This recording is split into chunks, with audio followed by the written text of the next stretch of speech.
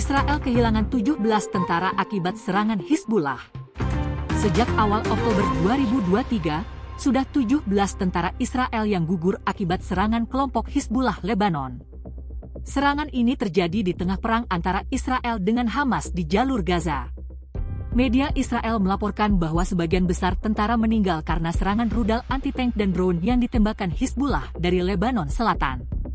Sementara itu, Israel biasanya tidak mengumumkan jumlah kematian tentaranya selama pertempuran di perbatasan utara.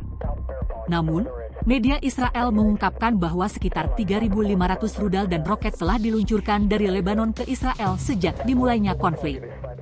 Korban sipil di Gaza terus bertambah serangan Israel di jalur Gaza terus merenggut nyawa warga sipil Palestina. Sampai saat ini, hampir 32 ribu orang Palestina telah tewas, dengan sebagian besar korban adalah perempuan dan anak-anak. Akibat serangan brutal ini, lebih dari 74 ribu orang terluka dan mengalami kekurangan makanan, air bersih, dan obat-obatan. Sekitar 85% persen penduduk Gaza terpaksa mengungsi karena konflik.